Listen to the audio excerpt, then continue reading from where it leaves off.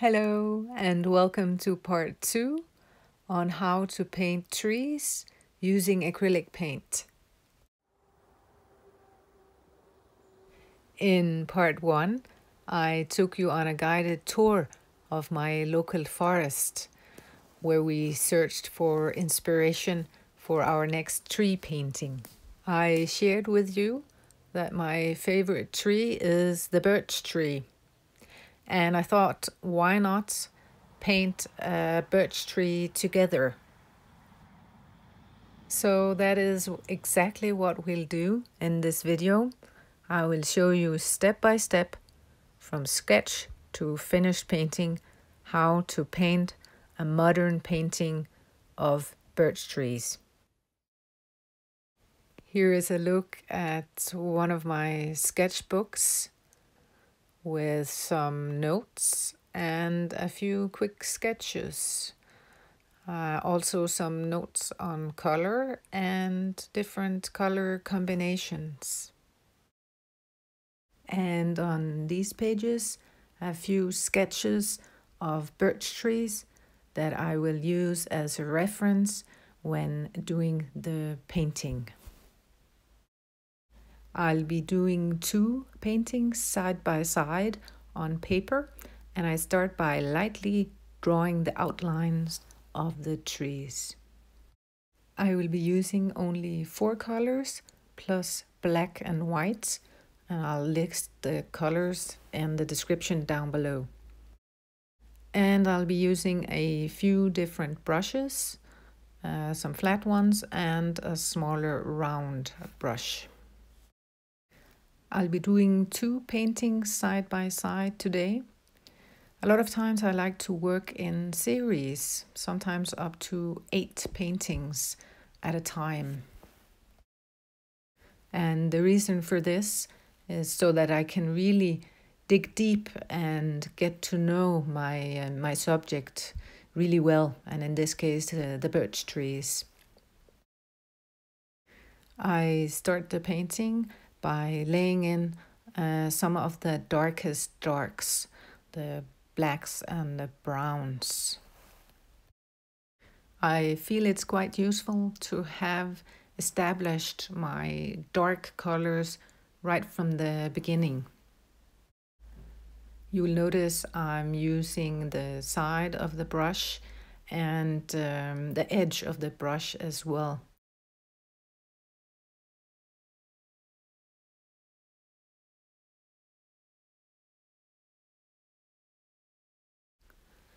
I like to use a lot of thinner layers of paint. I feel that it gives a, um, a more life, more depth to the colors at the end. That's also why you'll see me using uh, many layers of paint, many thin layers of paint to build up the painting. If you tried acrylic paints before, you'll know that they dry very fast. So a lot of times I keep a spray bottle next to me with water to just gently moist my paint once in a while.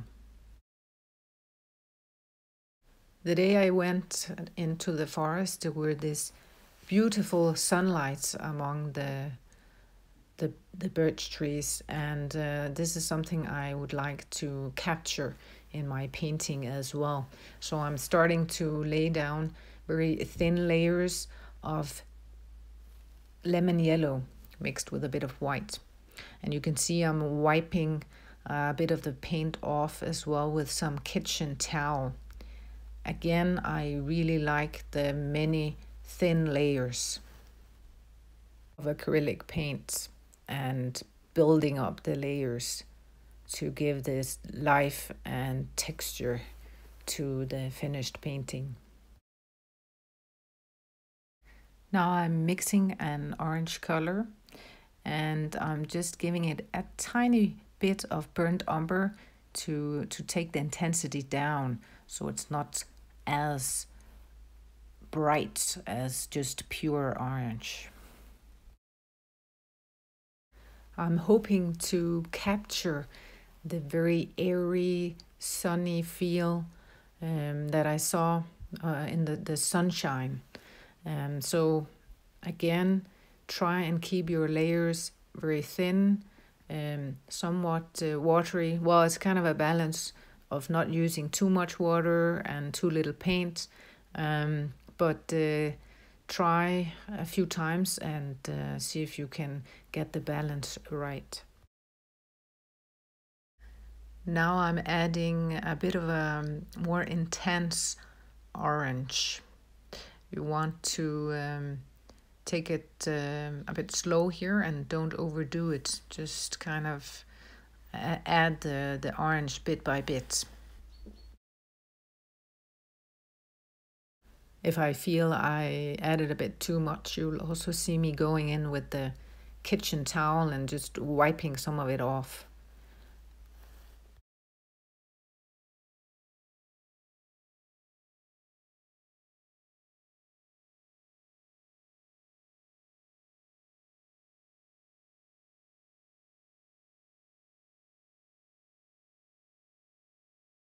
Now that I added all the color, I feel that I just need to freshen up my darks as well. So I'm just adding another layer of some brown and black mixtures.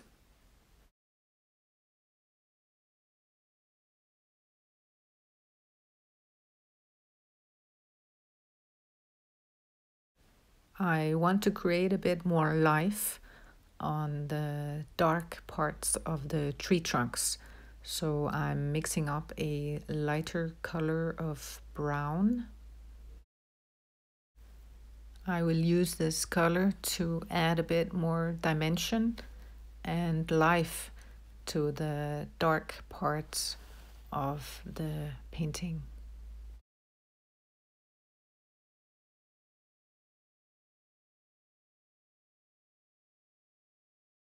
I'm also using this color to add a few more tree trunks, uh, a few more trees uh, in the distance.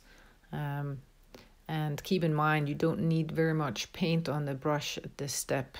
And look there, I, I got a bit too much paint on, so I'm just wiping it off with a bit of water and my kitchen towel.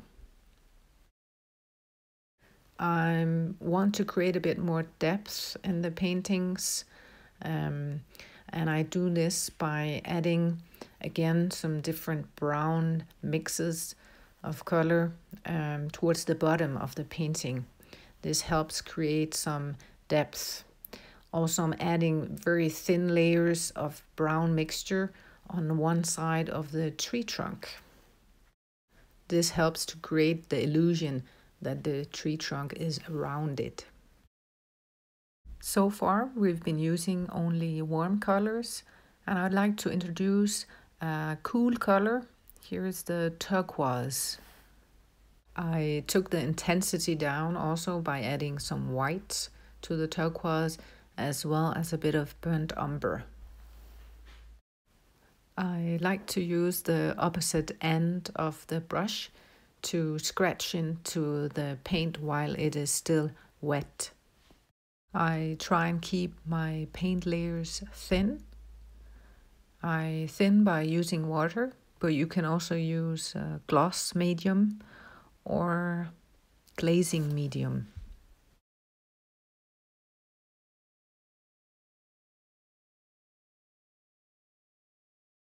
I want to keep my layers thin so that I can still see the colors underneath. This helps to add life and depth to the colors and uh, the painting itself.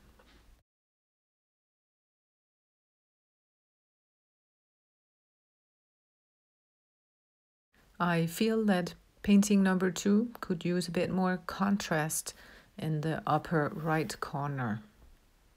So I'm adding some darker turquoise up here. I'm using the same turquoise color, adding tiny dabs of it to create interest uh, in other parts of the painting. In this step, I'm using the small rounded brush to add definition to the tree trunks as well as uh, details.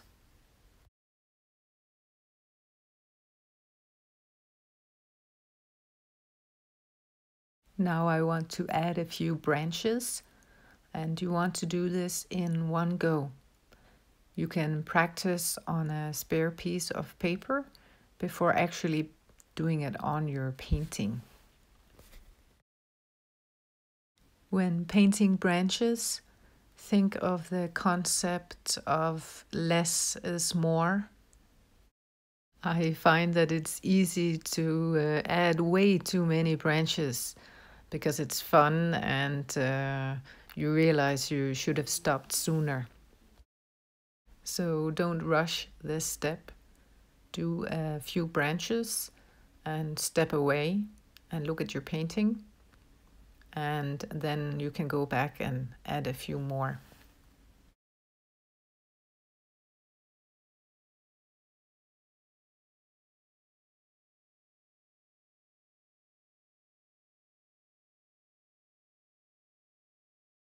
I looked at my painting for a while and decided that the, the turquoise color was a bit too intense.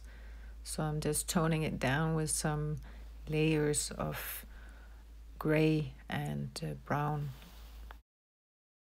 Now I want to add a few white details to the tree trunk. So I'm mixing up a white with a little bit of turquoise. You don't want much paint on your brush in fact, you want very little. I'm also separating the bristles on my brush. This will help to create the effect I'm looking for when applying the paint.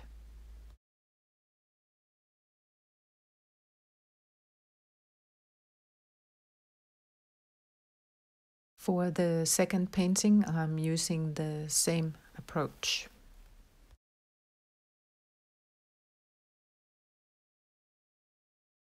I'm using the same color to add on the tree trunks on the parts where we added the burnt umber. I decided that my tree paintings were finished, so I'm signing them and I want to do some more.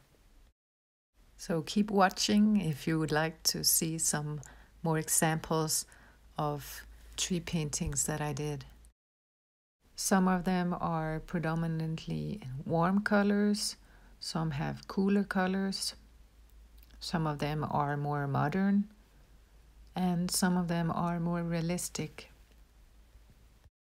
You can use the style that suits you best.